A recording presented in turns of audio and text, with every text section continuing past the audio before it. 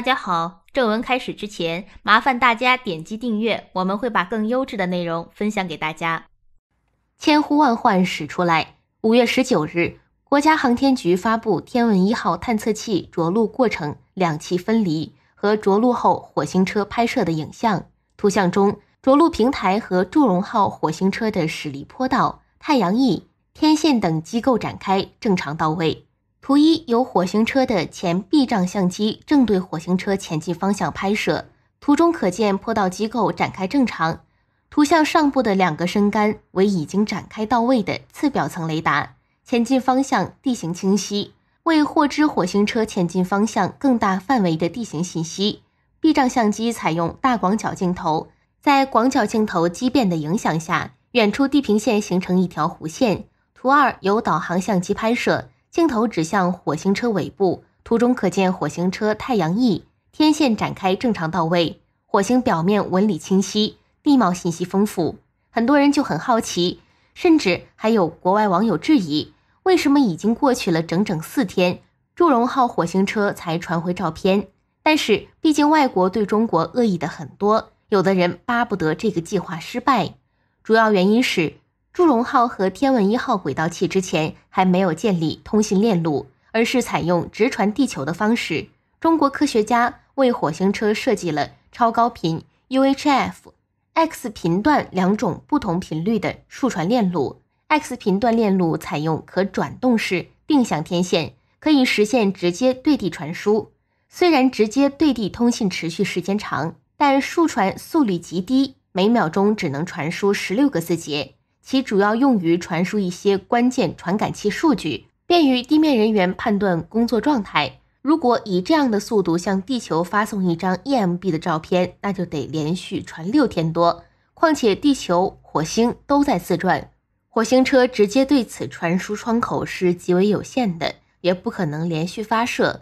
UHF 链路作为主用数传链路，实现对环绕器的数据传输。数据率适中，但传输距离有限，只有当环绕器处于近火弧段时才能进行数传。在此次火星探测任务中，环绕器不仅仅是一辆星际专车，它还是一座功能强大的通信中继站，为火星表面巡视器与地球搭建通讯桥梁，肩负对火星表面进行遥感探测的任务，同时选择恰当的时机来将巡视器的数据中继传向地球。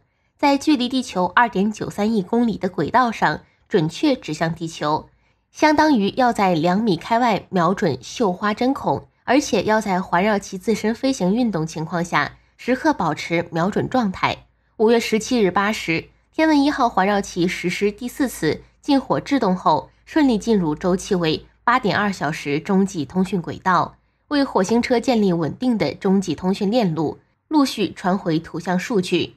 环绕器在中继通信轨道运行期间，祝融号每一个火星日可与处在近火弧段的环绕器进行一次器间 UHF 双向通信，每次约八到十分钟，速度平均为二十 Mbps，相当于二十兆宽带。很多人会疑问，为什么毅力号照片传回来这么快？因为在火星轨道上的美国探测器很多。美国毅力号可以利用在火星轨道上的火星勘测轨道飞行器 MRO 和马文号进行信号中继，因此毅力号能够很快传回数据。而中国只有天问一号环绕器，所以就比较慢。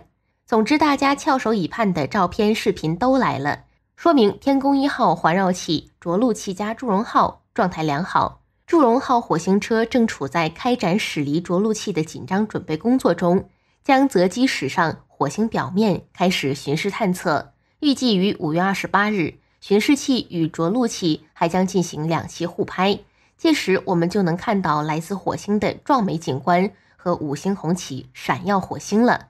所以，我们不需要着急，干货还在后面呢。中国航天从来不怕失败，也不回避失败。天问一号之后，中国还会有天问二号、天问三号。到那个时候，在火星轨道的中国探测器越来越多，就能够提供三百六十度无死角的信号覆盖。那个时候，中国也可以和美国一样，在最快时间收到火星的来信。五月十七日，美国有线电视新闻网发表文章称，中国航天局刚刚给中国送上大礼——一台火星车。上周六，载着以中国古代民间传说中的火神命名的祝融号火星车的探测器，历史性的在火星着陆，这是中国的一个最辉煌的时刻。这不仅展示了中国不断增强的航天能力，而且还适时的提醒世人。中国自建国以来所取得的巨大成就。一九一九年的五四运动中，中国爱国学生和知识分子试图从西方列强的手中拯救当时虚弱和分裂的国家。一个世纪以来，中国的科学能力正取得巨大进步，并迅速赶上西方国家。中国雄心勃勃的太空计划，也许是最引人注目的例子。中国在半个世纪前才发射起第一颗卫星。而现在，中国成为世界上第二个在红色星球上着陆火星车的国家，仅次于美国。搞航天不能不想到中国航天之父钱学森先生。遥想先生当年刚回国不久，来到哈军工选调人才，搞两弹一星。哈军宫院长问道：“钱先生，我问你，我们中国能造出自己的导弹和火箭来？”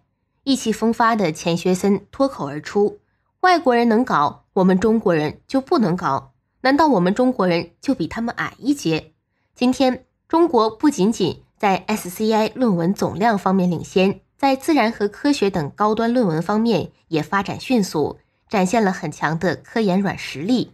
中国在高速铁路、航天航空、航空母舰等大国重器研制方面，更是展现了很强的科研硬实力。天问一号的任务非常复杂，而中国第一次尝试。就取得成功。美国国家航空航天局 NASA 先后执行了多次任务，才完成这三个具有挑战性的步骤。尽管比中国早了几十年，中国的祝融号在技术上或许不如 NASA 的毅力号先进，但它的出现释放出一个明确的信号，即中国的太空能力正在赶上美国。自立自强是中国太空进步的关键。美国在2011年。通过一项法律限制 NASA 与中国科学家接触。今年四月底，中国成功发射了其空间站的核心舱。对于中国来说，这是一项必要的工作，因为该国航天员被禁止参与国际空间站项目。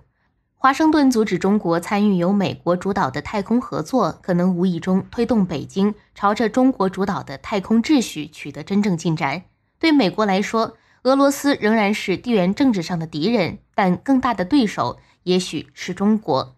过去十年，中国持之以恒地发展其太空计划，并逐步取得越来越多的成功。中国上周在火星表面降落了一辆火星车。中国最近对太空探索的决心，反映在这些稳步持续的成功当中。现在，美国并未明确表达对来自俄罗斯和中国的威胁的焦虑。然而，政治学者们注意到。美国和中国之间的分歧越来越大，而这恰逢中国在太空探索上大步前进。中俄太空联盟组建的时机，可能足以刺激美国对其全球领导地位和权力的担忧，从而催生一场更接近于旧时代的新太空竞赛。中国计划在二零二八年左右向火星发射第二个探测器，并最终从火星带回样本。这是 NASA 和欧洲航天局已在进行的复杂工作。他们希望毅力号收集的样本能在未来被带回地球。中国的任务可能会在这个十年内完成，从而形成一场潜在的竞赛。今天的节目就到这里，喜欢的朋友别忘记点赞、分享、订阅。你们动动手指，对我可是意义重大。就这样，我们下期见。